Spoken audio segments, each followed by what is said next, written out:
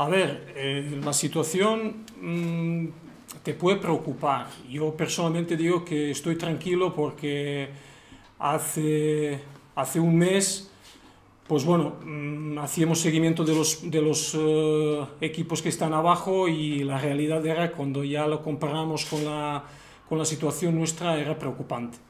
En este aspecto hemos mejorado mucho. Entonces, la verdad que la situación es que los frutos tienen que llegar, tienen que llegar. No podemos tener eh, de cara al gol eh, tanta mala suerte, no podemos tener eh, tantas eh, expulsiones, tantas eh, mala suerte de que, de que balón te sale fuera de, del campo y que no se ve. O sea, nos han pasado muchas cosas que en realidad no son normales, no son normales y un día tiene que salir el sol. Yo siempre digo que después de, la, de, tantas cosas tiene que salir. El equipo está trabajando bien eh, día a día, entonces tiene que llegar. Los árbitros, también son humanos, como los jugadores. Los jugadores eh, se equivocan, también se equivocan los árbitros. Y eso es evidente. Yo os digo que a lo que le llevo de fútbol, pues la verdad que una pitada tan sonora, lo que ha pasado en, en Sadar, yo no me acuerdo que lo he vivido. Cuando las cosas uh, van mal empiezas ya a pensar en todo, que si mano negra, que si esto, que si extradeportivo van así, que si ya van por otro lado. Yo la verdad que no creo en esto. Osasuna tiene que estar por encima de ello. Eh, Osasuna tiene que seguir empujando en el tema deportivo, tiene que seguir trabajando. Eh, muy importante, que la verdad que es muy importante. Yo en, en, en lunes me encontraba en una reunión y un, un, una persona me dijo, oye, vosotros lo que tenéis es que, es que eso no tiene nadie. Y es verdad. Al final, la afición que tiene Navarra, lo que tiene Osasuna, no tiene nadie. Al final es un ímpetu contra todos los equipos que cuando vienen aquí, pues La verdad que es muy difícil jugar aquí. Entonces yo creo que esa es el, la manera de seguir remando todos, porque la verdad que estamos jugando contra viento y que estamos una dificultad. Y yo creo que los Asunas se está encontrando en el momento más difícil de la historia, pero hay que sacar adelante este, este, este año como sea. Yo lo que digo que no puedo garantizar nada. Eh, nosotros estamos muy satisfechos con, con, con, la dinámica y con trabajo lo que está haciendo Mateo. Día a día eh, se está intentando mmm, analizar en principio los errores que se están cometiendo y se están durante la semana se están haciendo eh, correcciones eh, para, para corregir estos errores que no pasasen.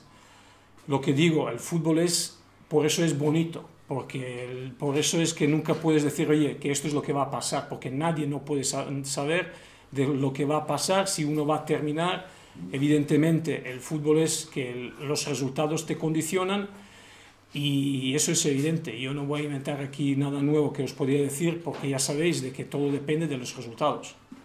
La situación, eh, a ver, la situación personal que os voy a decir, que al final son cosas muy, muy incómodas, primero, son muy incómodas.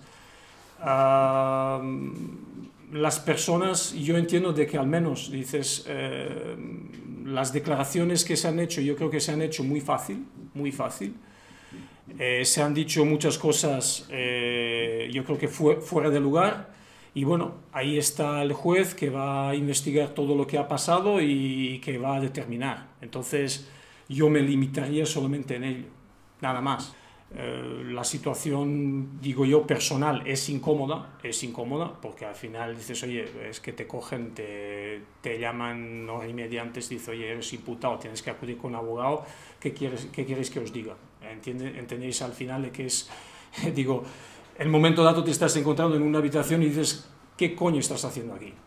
Y bueno, eso es lo único lo que os puedo decir, mi, mi sensación personal, ¿no? Porque aparte que os dije en aquel momento, es muy duro entrar en, en un, en un juicio, bueno, juicio en la, el Palacio de Justicia, es un juzgado y, y, es, una, es algo lo que es, es duro, la verdad que os digo, que es un día para mí, ha sido un palo, un palo muy gordo, no me he encontrado nunca en, este, en esta situación, ni podía haberme pensado de que me podía encontrar en esta situación, y que en la vida hay que hacer las cosas como hay que hacer, voy de frente, voy de cara, y, y la verdad es que la situación pues, ha sido muy incómoda para mí. Mm, ya veremos, ya, ya hablaríamos de ello, hablaríamos, ¿vale? Que yo digo que no quiero entrar en la... En la en tema personal no quería hablar, porque yo pienso que ahora mismo lo que es más importante, el tema de Osasuna, el tema de primer equipo, el tema de permanencia, tenemos muchísimos frentes abiertos, la verdad, muchísimos frentes abiertos. Eh, este año ha sido, ha sido y sigue siendo muy duro, muy duro. Entonces, el tiempo dirá, el tiempo dirá. Lo que va a pasar, yo siempre digo, al final, lo que es más importante aquí es el club, no son las personas. Yo creo que, y vosotros lo valoráis, que Osasuna aquí no puede perder categoría. Osasuna tiene que quedarse aquí en segunda división. A partir de ahí, pues yo creo que los males, pues al final saldrá sol, tenemos que reconducir la situación con las personas que van a estar aquí y ya está. O sea que yo digo que personas físicas no son importantes. Es importante la, la entidad y el club.